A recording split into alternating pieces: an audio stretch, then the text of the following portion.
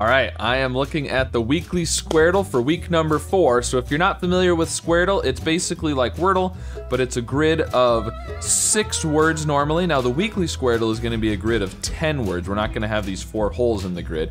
And when you make a guess, it applies to both the row and the column and you work your way through. And um, there's some stuff with the coloring, which is sort of indicated by the logo up here and you can read about it in the rules and uh, previous Squardle videos I've done. All right, so I am going to the weekly weekly Squardle. Here we go. So, all right, let's see. Let's let's try my wife's uh, three-word start that we came up with the other day. Um, crash. Okay, got the A. Flout. Uh, which, by the way, the way this started is she was thinking flute would be a good word uh, because there are a lot of answers that start with F and end with E. And so we started with the word flute, but then we were trying to come up with the other words to go with it, and we ended up changing it to flout. Uh, which of course lost us the E at the end, but um, that's all right. We went with it anyways. Ooh, ooh, that was huge. Look at all the greens. Okay, so this word across the middle, I mean, it has to be aging, doesn't it? I think that has to be aging. Uh, I'm gonna hide some of these duplicate black letters. Um, some people hide all the black letters up here because you've got it down here too, but I tend to forget to look at the keyboard, so I'm not doing that. Um, let's see, we've got S and F in this first column, which is interesting. Uh, but not an E or an R or a C. And in this first row, we have C, E, and S. Uh, I mean, the most likely place for an E is at the end, of course. I feel like this word here, well, this could be an E. But otherwise, an E at the end makes a lot of sense too, I-N-E. It's not a G or a T, so I-N-E seems like it's likely there. Uh, let's see, we could have an S at the beginning here, because there's the yellow S and the red S, both pointing, you know, it could be somewhere else in that row or column, but S at the beginning is common also. R in this one is not first or second, so I'm gonna assume maybe it's after the G. That seems good. Something like, uh, not angry, because there's no A at the beginning, but G-R-Y might be good. We, oh, we don't have a Y. We don't have a Y, so it can't be G-R-Y. So maybe it's not, maybe it's, it's an R at the end here. That could work too. We could have an E or an A right there. Okay, so we need to guess, let's guess something with an E here maybe. We're on this fourth row and fourth column. Put an E there. We've got EN for both of them then. Uh, doesn't start with an S. We could do something like fence. Um, it's not too bad because I think there might be an E up here and down here. So these E's would potentially help rule out those E's if it tells us there's not one in that row and column. And we know there's no F up here, but there is an F in this first column. And it has to be either fourth or fifth. So this would let us locate the F either way. So let's go with fence. I think that's good. Oh, and it was fence. And the other one is E-N-C-E. okay.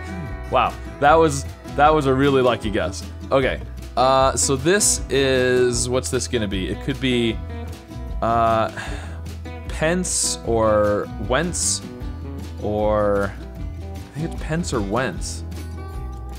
P or W, we haven't guessed either one of those yet.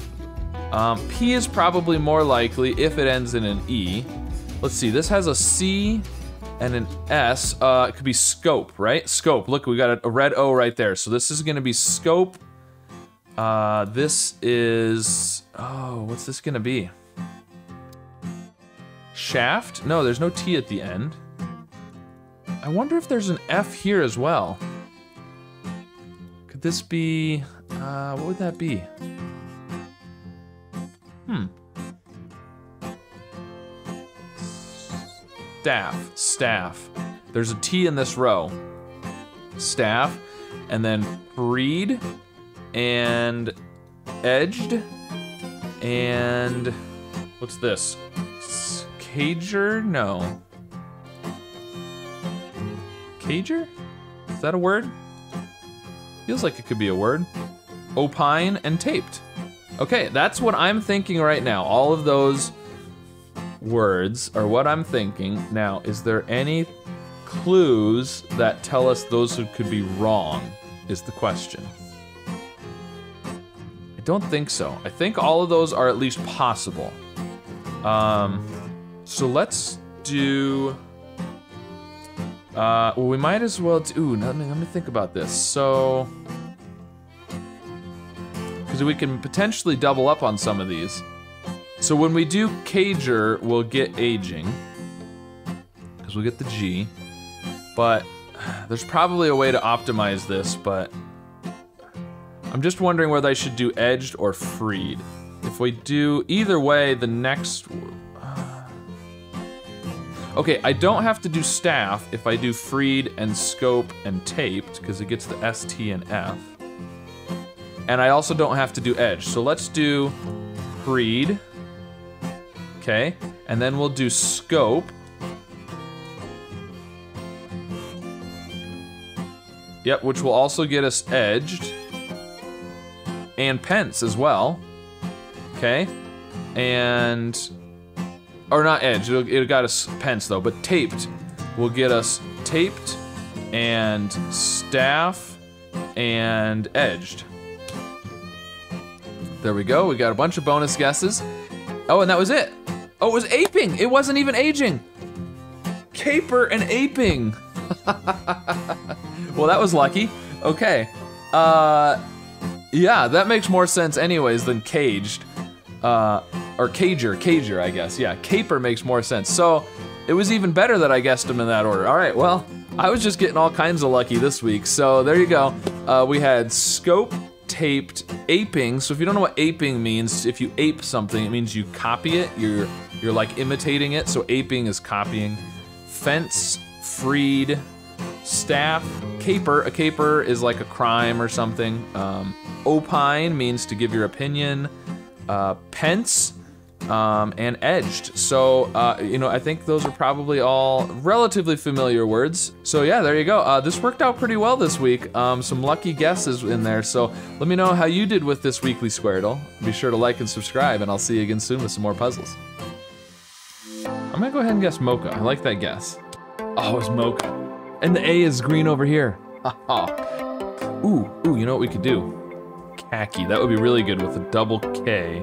If the O isn't second, it has to be last, but that seems less likely. So C-O something S-E. Uh, oh, Barcelona. We're in Barcelona.